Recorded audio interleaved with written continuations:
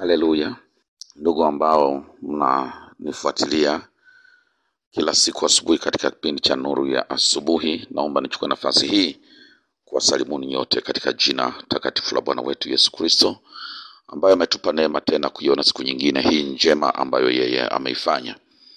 Ninaomba tufuatane pamoja katika ujumbe wa asubuhi ya leo ambao unapatikana katika kitabu cha Mithali sura ya ishirini na mstari wa saba. Biblia inasema kwamba mwenye haki aendee katika unyofu wake, watoto wake watabarikiwa baada yake. Bwana wetu Yesu Kristo asifiwe. Mwenye haki ambaye anaishi katika unyofu wake, watoto wake watabarikiwa baada yake. Ujumbe ambao nataka tushirikiane katika asubuhi ya leo, ndugu ambao mnanifuatilia, unaitwa uh, kuishi leo kwa ajili ya kesho. Kuishi leo kwa ajili ya kesho. Haleluya! Si mara nyingi sana uh, kupata watu ambao wanapokuwa wanaishi sasa, wanaishi ili kuishi kwao kuwe manufaa kwa watakaokuwa wakiishi kesho. Si wengi wana wanaishi hivyo. Mara nyingi sana watu wengi wanaishi kwa manufaa ya kwao wenyewe, wanazitazama siku za kwao wenyewe, wanatazama furaha yao wenyewe, wanatazama raha yao wenyewe, na kila kitu wanakitazama kwa ajili yao wenyewe, hasa hasa e, tunapoongelea masuala ya kiroho na masuala ya kimaadili. Kwenye masuala ya mali, wapo wengi wanatazama watoto wake watabakije, wataishi namna gani, watabaki na nini. Hilo hilo halina mashaka. Mambo ya kimwili, hasa hasa ya kimali, wako watu wengi pia wanajitahidi kuona kwamba wanachuma wakikusudia kuachia urithi watoto wao, lakini wakienda upande wa pili kwa masuala ya kiroho na masuala ya kimaadili, watu wanaishi kwa ajili yao, wana magomvi mengi kwa sababu ya manufaa yao wenyewe na kutetea hali zao wenyewe. Wana wivu mwingi, wana wizi mwingi na mambo mengi sana ambayo yanachimba shimo la lana mbele ya uzao wao. Anaweza kaacha mali, lakini akaacha na lana pamoja na mali. Na Ndiyo maana pia wapo watu wengi wana vitu walivipata kwa taabu, wakiwaachia watoto wao vinabaki vinapotea vyote. Saa ingine si kwamba ni watoto hawana akili, lakini ni watoto walioachiwa laana, mambo ambayo baba aliyafanya pamoja na kuacha mali, mambo ambayo mama aliacha, alifanya pamoja na kuacha mali.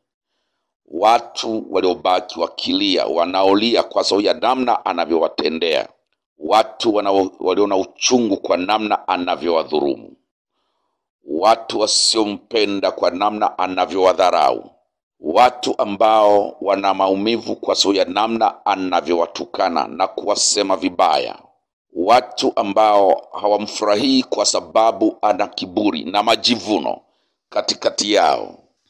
Ukiacha hapo, mambo ambayo Mungu anayaona juu yake yanamhuzunisha na kumkasirisha, ushirikina anaofanya, dhambi mbalimbali anazozifanya machoni pa Mungu, zingine anazifanya hata mkewe hajui wala mmewe hajui. Ana vitu vya kisirisiri vya uovu mkubwa ambavyo hata watu wa karibu naye wengine vingine hawavijui kabisa. Ana maisha ambayo siku zote Mungu anahuzunika na Mungu anakumbuka damu ya Yesu iliyomwagika msalabani kwa makusudi kwamba huyu naye aokolewe, lakini ameipiga teke damu ya Yesu Kristo. Hataki ifanye jambo lolote wala kazi yoyote kwenye maisha yake.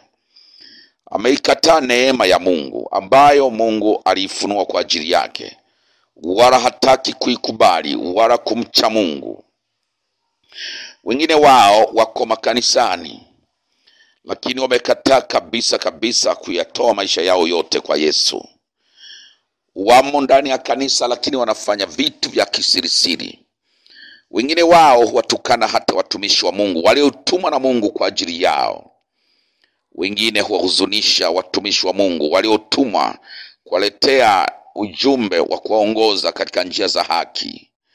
Hawaheshimu, baada ya kufanyika furaha kwa watumishi wa Mungu, wamefanyika huzuni na uchungu na maumivu kwa watumishi wa Mungu, nao wamo katika makanisa wanaabudu, lakini ni machukizo. Wamejaa hila na uongo mwingi na matendo mengi maovu, lakini fedha wanazo, wanaandaa zao mpaka za, za wajukuu wao.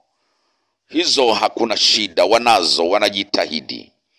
Hata wasio nazo, basi wanajitahidi kufanya kile watakachoweza ili watoto wao wawe na cha kurithi.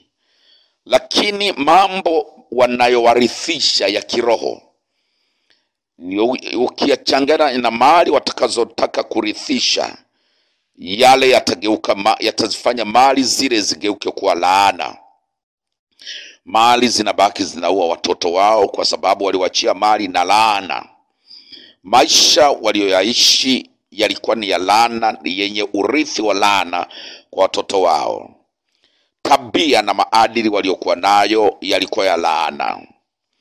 Hawakutenda haki kabisa, lakini Biblia inasema katika maandiko tuliyosoma kwamba mwenye haki ambaye anaishi katika unyofu anafanyika baraka au anaacha baraka kwa watoto wake baada yake.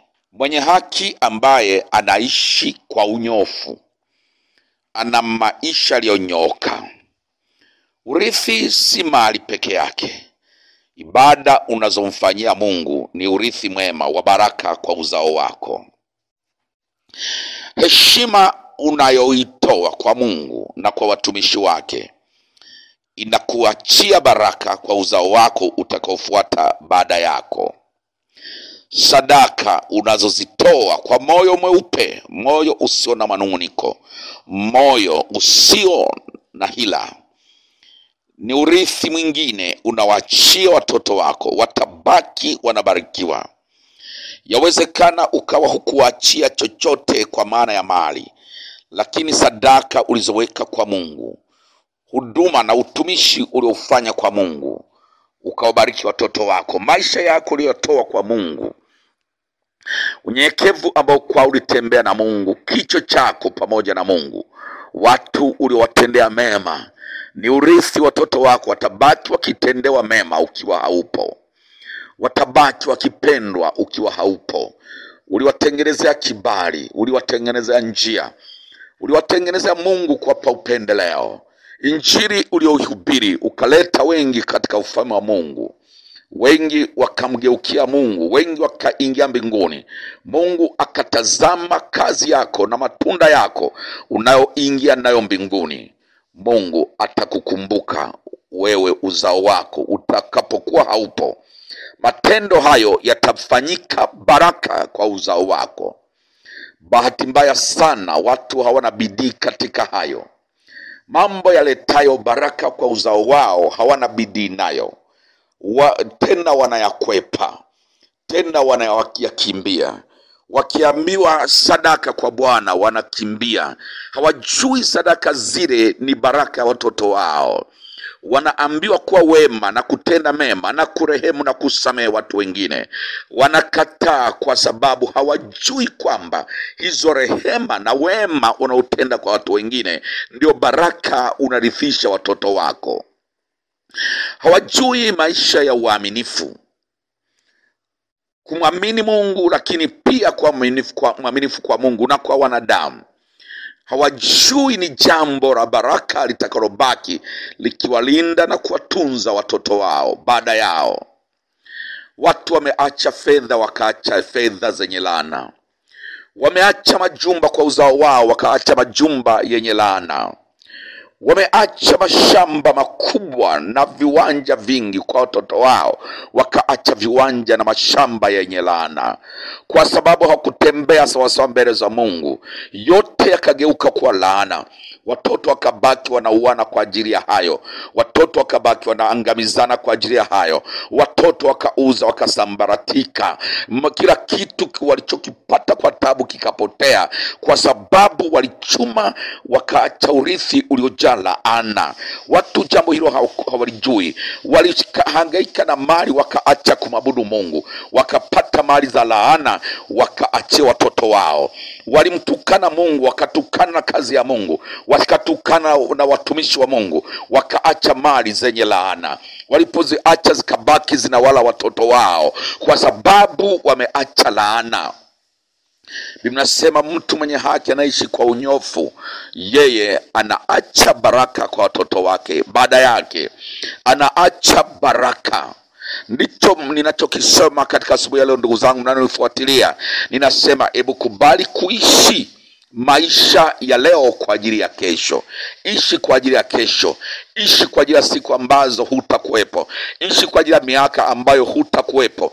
Jina lako litaacha nini? Matendo yako na maisha yako yataacha nini? Utawachia unawaacha kitu gani? Ishi kwa ajili ya kesho, ishi leo, lakini unapoishi leo uishi kwa ajili ya kesho. Biblia inatupa mfano wa mfalme mmoja aliyekuwa anaitwa Hezekia ambaye aliishi vizuri mwanzo akamaliza vibaya, maana aliishi kwa kicho na uadilifu na kutenda mengi kwa ajili ya Bwana na nyumba yake pamoja na watumishi wake, akawarejeza watumishi wake katika nafasi zao na kazi zao, akawapa zaka na malimbuko ambayo walikuwa wameyakosa kwa muda mrefu, na wakaenda kwenye mashamba kutafuta maisha. Kazi ya Mungu na nyumba ya Mungu ikaharibika. Akawarudisha katika zamu zao makuhani na Walawi kavunja sanamu nyingi sana na miungu na maashera. Nchi akaitakasa na nchi ikabarikiwa. Katika mayaka yake akaugua. Mungu akamwambia, tengeneza mambo ya nyumba yako, kwa sababu utakufa na hutapona. Na akaomba akamkumbusha Mungu hayo matendo aliyomtendea Bwana yeye na nyumba yake. Mungu akamponya akamwongezea miaka kumi na mitano. Katika miaka Mungu aliyomwongezea akawaleta wafalme wa Babeli, wakuu wa waliotoka kwa mfalme wa Babeli, akawaingiza katika nyumba ya Mungu kinyume cha utaratibu, na katika hazina zote za Israeli za mfalme na, na, na gara za vita za silaha za vita za ufalme wake kinyume na mapenzi ya Mungu, wakakanyaga patakatifu watu wa Babeli kinyume na, ku, na, na mapenzi ya Mungu. Mungu akamwambia hayo walioyaona yote yatachukuliwa utumani kwenda Babeli, vitachukuliwa vyote vyovyona na uzao wako utate, utachukuliwa kwenda utumani Babeli. Lakini wewe kwa sababu ulitenda mema, utakufa kwa amani katika miaka yako, hayo hayatatokea.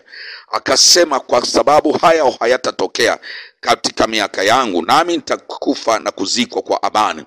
Basi hilo neno la Mungu lilosema ni jema akaona kwamba watoto wake kubaki wanatekwa ni jema. Akaona kwamba mali za nyumba ya Mungu ambazo wazazi wake baba zake walizipata walizitengeneza kwa gharama, na nyumba ya Mungu iliyojengwa kwa gharama, hata ikibaki inabomoka, maadamu si kwa siku zake, ni siku za watoto wake. Hilo jambo ni jema. Akaanza vizuri akamaliza vibaya. Ndivyo watu wengi walivyo wanaacha laana baada ya kuleta baraka ya, ya kuacha baraka kwa sababu maisha wanaoishi mbele za Mungu.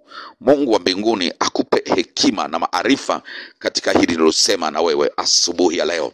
Badilisha njia zako, chunguza njia zako, geuka, badili njia zako, tengeneza mambo yako katika jina la Yesu. Tafakari maisha yako, Ge- tengeneza maisha yako tena katika jina la Yesu. Ishi leo kwa ajili ya kesho. Ubarikiwe. Baba Mwenyezi, ni hekima itokao kwako ambayo inatupa kuona leo na kesho. Ninaomba hekima hii iingie katika kila moja, moyo wa kila moja ugeuke, ukuche, ukupende, ukutumikie na kuishia na kutenda yaliyo adili na kwenda katika njia za unyofu, ili kuacha baraka. Katika jina la Yesu naomba na kushukuru, amen.